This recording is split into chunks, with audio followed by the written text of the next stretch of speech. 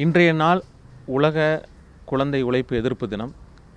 இந்த நாளில் வந்து நம்ம இருக்கிற இடங்கள் பயணப்பட இருக்கிறவங்க எல்லா இடங்களும் குழந்தை தொழிலாளர்கள் இருக்கிறாங்க. அது குறிப்பாக வந்து பார்த்திங்கன்னா இப்போ இந்த கொரோனாவுக்கு பின்னாடி வந்து லட்சக்கணக்கான பேர் குழந்தை உழைப்பாளர்கள் ஆகிருக்கிறாங்க அப்படிங்கிறது எப்படி தெரியுது அப்படின்னா பள்ளிகளில் வந்து இடைவெளிகள் அதிகரித்திருக்கிறது. பள்ளிகளில் ட்ராப் அவுட் அதிகரிச்சுனாவே அது குழந்தை உழைப்பாளர் ஆகிட்டாங்கன்னு அர்த்தம்.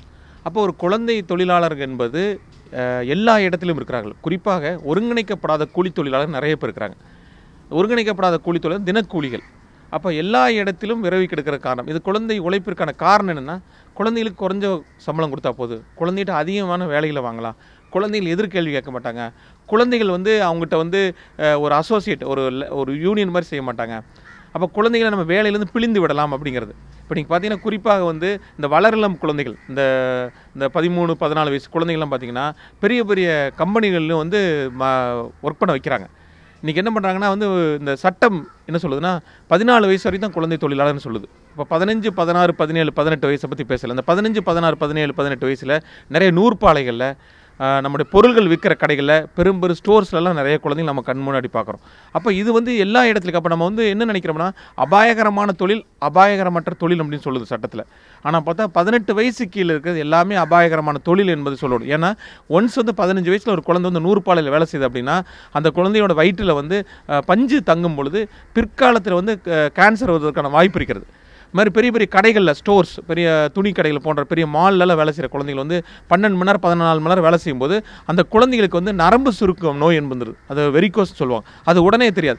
அப்போ பதினெட்டு வயசுக்கு இருக்கிற எல்லா குழந்தைகளும் குழந்தை தான் அப்படிங்கிற வச்சு அந்த பதினெட்டு வயசுக்கு இல்லை குழந்தை தொழிலாளர் வந்து ஒழிக்கிறது மிக அவசியமாக இருக்கிறது அது மட்டும் இல்லாமல் என்னென்னா இன்றைக்கி வந்து நம்முடைய இந்த சட்டமே வந்து ஒரு வலுவற்ற சட்டம்.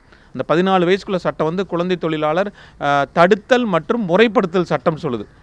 அப்போ இன்றைக்கி எல்லா இடத்துலையும் பதினெட்டு வயசு வரை குழந்தைகள் மாற்றுறதுக்கப்புறம் இந்த சட்டம் மட்டும் ஒரு பாடாவதியான சட்டம்.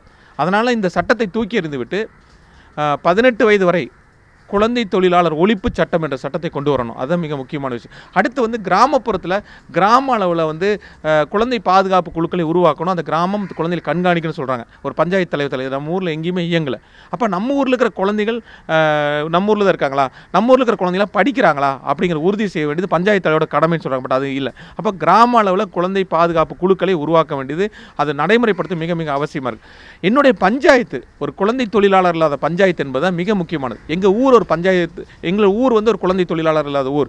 எங்கள் கிராமம் ஒரு குழந்தை தொழிலாளர் கிராமம். எங்கள் நகரம் ஒரு குழந்தை தொழிலாளர் அப்படின்னு வரும்பொழுது தான் ஒரு மிக முக்கியமாக இருக்கும். இது என்ன நடக்குன்னா குழந்தைகளை வந்து வேலைக்கு அனுப்புறது வந்து குடும்பத்திற்கு அப்படின்னு சொல்கிறாங்க அவமானம். அல்ல இந்த தேசத்திற்கு அவமானம். குழந்தை மீளம் உழைப்பு என்பது குழந்தையினுடைய உரிமைக்கு எதிரானது. ஒரு குழந்தையினுடைய வாழ்க்கையில் திரும்பி கிடைக்க முடியாத பருவம். அந்த பருவத்தை எல்லாத்தையும் சுரண்டிட்டு குழந்தை தொழிலாளராக அவங்களை சுரண்டிட்டோம்னா அவங்க எப்படி குழந்தையாக இருப்பாங்க? அப்போ குழந்தைமை என்பது மிக முக்கியமான விஷயம். அதாவது வந்து ஒரு நல்ல ஒரு மாம்பழம் சாப்பிடணும் அப்படின்னா அதுக்கு பல்வேறு பருவங்கள் உண்டு. அதாவது பூ உண்டு பிஞ்சு உண்டு இளம் காய் காய் பழம்னு நிறைய பருவம். அதே மாதிரி குழந்தை பருவம் பல்வேறு பருவங்களை கொண்டது. இப்போ நீங்கள் மாம்பழத்துக்குள்ள ஒரு பருவத்தை நீங்கள் நசுக்கிட்டீங்கன்னா நல்ல மாம்பழம் கிடைக்காது. ஆனால் குழந்தை பருவத்தில் நீ குழந்தைய போய் எல்லாமே குழந்தை தொழிலாளர் ஆக்கிட்டு நல்ல இந்தியா இல்லை அப்படின்னு எப்படி? அப்போ குழந்தை பருவம் என்பது குழந்தை மகிழ்வாக இருப்பது கொண்டாடப்பட வேண்டிய ஒரு பருவம். அப்போ நம்மை பொறுத்த வரைக்கும் இந்த கோவிட் சுச்சுவேஷனில் வந்து இந்த குழந்தை வந்து ட்ராப் அவுட் ஆகிறாங்க இந்த ட்ராப் அவுட் ஆகிற சைல்டு தான் சைல்டு லேபர் ஆகிறாங்க அப்படிங்கிறது மிகப்பெரிய ஆய்வு சொல்லும் அப்போ தமிழக அரசு உடனடியாக என்ன செய்யணும் அப்படின்னா இந்த ட்ராப் அவுட் சைல்டை ஐடென்டிஃபை பண்ணி திரும்ப பள்ளிக்கூடத்தில் கொண்டு சேர்த்துறோம் அதான் நம்ம இந்த குழந்தை உழைப்பு எதிர்ப்பு பிரச்சாரம். நாங்கள் அதை வந்து தொடர்ந்து வலியுறுத்தி வருகிறோம். எல்லா குழந்தைகளும் பள்ளிக்கூடத்தில் இருக்கணும். எல்லா குழந்தைகளும் வீடுகளில் இருக்கணும். எல்லா குழந்தைகளும் வந்து மகிழ்ச்சியாக இருக்கணும் அப்படின்னா அந்த பெற்றோருக்கு இந்த ஒருங்கிணைக்கப்படாத கூலி தொழிலாளரோட பெற்றோர்கள் வந்து வேலை வாழ்வாதாரத்தில் இருக்கிறாங்க அவங்க தான் அந்த குழந்தைகளை வேலைக்கு அனுப்புகிறாங்க அப்போ அவங்களுடைய வாழ்வாதாரத்தை உறுதிக்கான திட்டங்களை கொண்டு வரணும்.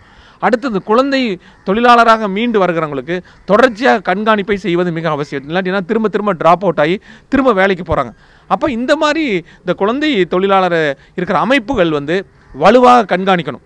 இன்றைக்கி மாவட்ட அளவில் நிறைய அமைப்புகள் இருக்குது அந்த அமைப்புகள்லாம் போய் ஏதாவது நடந்ததுக்கப்புறம் தான் போய் பார்க்குறாங்க. ஒரு குழந்தை வந்து பஸ்ஸிலேருந்து விழுந்துருச்சுன்னா போய் பார்க்குறாங்க. ஒரு குழந்தை பாலியல் உணவு நடந்துச்சு அப்படி இல்லை. குழந்தை உழைப்பாளர் இல்லாமல் பார்ப்பதும் அவங்களுடைய க பொறுப்பு. அப்போ அவங்க வந்து இந்த குழந்தை உழைப்பாளர் ஆகாமல் இருப்பதற்கான வேலையை செய்யணும். இது இல்லாமல் என்னென்னா இந்த குழந்தை பருவத்திற்கான விஷயத்தில் நாம் பள்ளிக்கூடம் ம- க- சமூக நலத்துறை ஹெல்த் டிபார்ட்மெண்ட் எல்லாரும் இணைந்து வேலை செய்யணும். அப்போ இணைந்து குழந்தை உழைப்பு இல்லாத சமூகத்தை உருவாக்குவது தான் இந்த குழந்தை உழைப்பு எதிர்ப்பு தினத்தில் நாங்கள் வந்து செய்தியாக எல்லாத்துக்கும் சொல்கிறோம் இது நமக்கான நம்ம தேசம் காக்கிற போராட்டம். குழந்தை உழைப்பு இல்லாத தேசம்தான் இந்த குழந்தைகளுக்கான உகந்த உலகத்தை உருவாக்கும் நல்ல தேசத்தை உருவாக்கும்.